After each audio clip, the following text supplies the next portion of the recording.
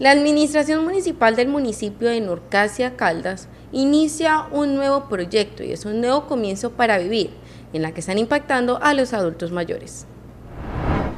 La Administración Municipal de Norcasia, en cabeza del señor alcalde José Jonathan Manrique, en articulación con Nuevos Comienzo Municipal, otro motivo para vivir, la Unidad de Recreación de la Gobernación de Caldas, el Programa de Adulto Mayor, Enlace de Discapacidad realizaron una jornada de nuevo comienzo, otro motivo para vivir, en el cual se eligieron cuatro adultos mayores que representarán el municipio de Norcasia los días 1, 2 y 3 de agosto en Santa Agueda, La Rochela, en Palestina, mostrando sus habilidades, manualidades y destrezas en la cual emplean en su tiempo libre.